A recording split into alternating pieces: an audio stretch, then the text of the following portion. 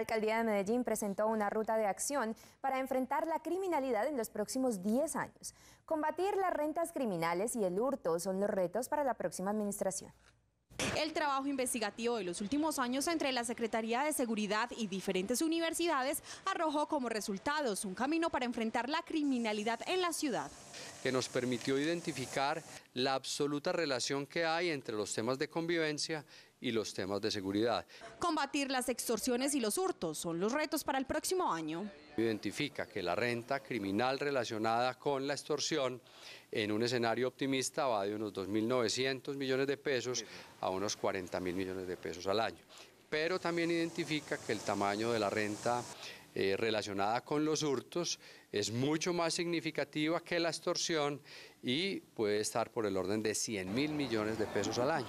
A esto se le debe sumar el ataque directo a las estructuras de combos. Pero si usted captura estructuras completas, con cabecilla incluido y no les quita la plata, está haciendo la mitad de la tarea. De ahí la importancia de fortalecer los jueces y los fiscales de extinción de dominio en el marco de la nueva ley de extinción de dominio.